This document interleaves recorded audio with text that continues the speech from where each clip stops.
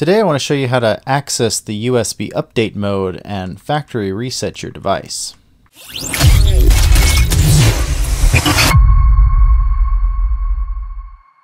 So this is a super common thing that I get asked about all the time. People email us about this and we get comments about it from people who are trying to do some basic troubleshooting and resolve basic issues. If you want to do something like sideload update your headset, which is a really useful feature for manually updating the firmware in troubleshooting, or you want to factory reset your device, which can help resolve a lot of issues, being able to access the USB update mode is a really important tool. So today I've popped a lens off of one of these uh, damaged LCDs. Don't worry, this one's going to get replaced anyway.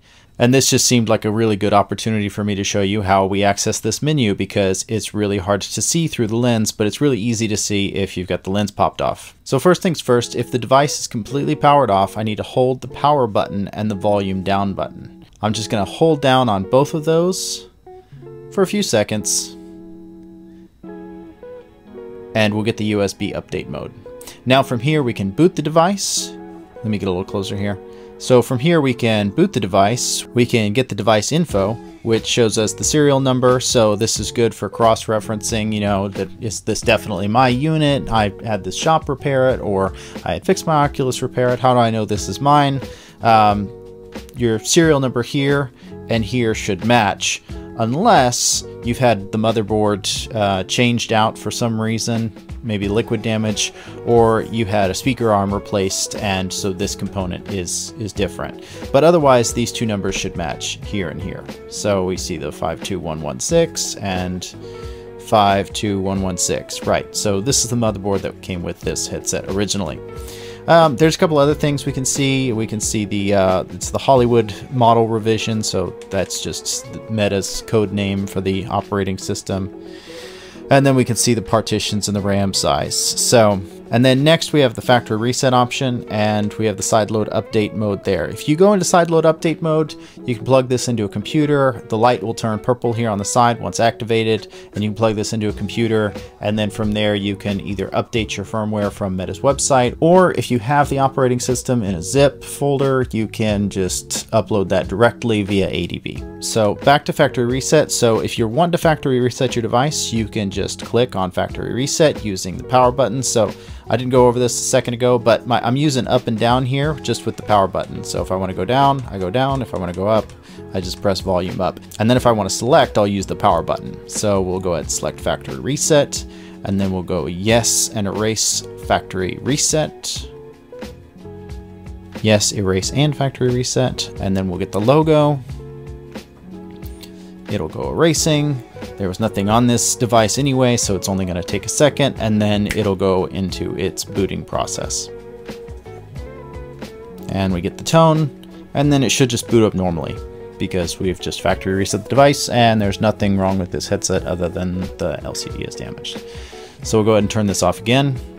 And then I want to show you one more thing. What happens if I hold the power button down and the volume up instead of the volume down? Because right, we wanted to go into USB update mode.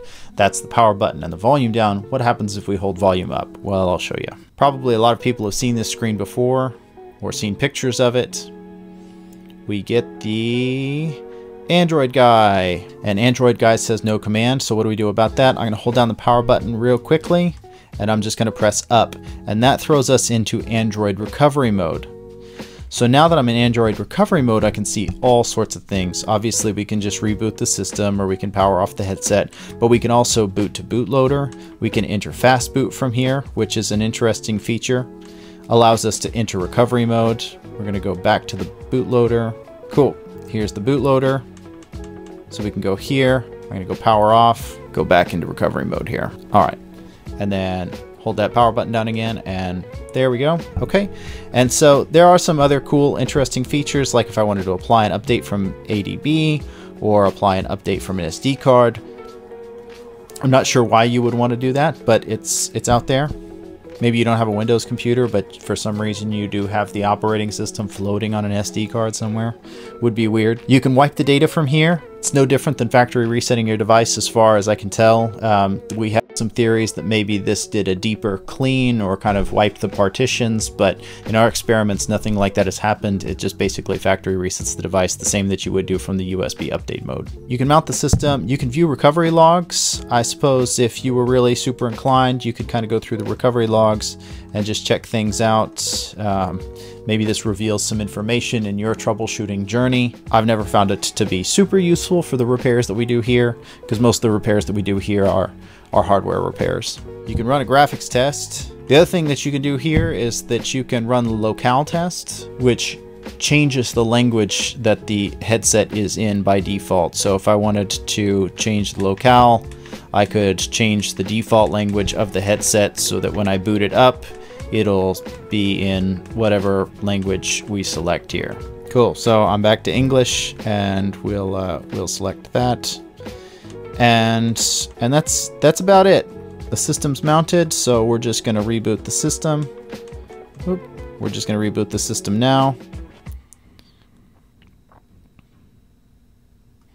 And then we're basically back to baseline Anyways, that's all I really got for you guys today. I really just wanted to show you what you could do with USB update mode and what you could do with Android recovery, how they worked, and how you could factory reset your device if you were so inclined for whatever troubleshooting reason. Or maybe you're just trying to wipe the headset so you can sell it, or maybe you're tired of your current account and you're just looking for a fresh start on things. But regardless of why you're doing it, it's a pretty easy process, and I think anybody can do this if they are so inclined. And yeah, that's it. Easy as that. That's all I got for you guys today. I appreciate you hanging out with me. If you get a chance to like and subscribe, it really helps us out. And we will see you guys on the next one.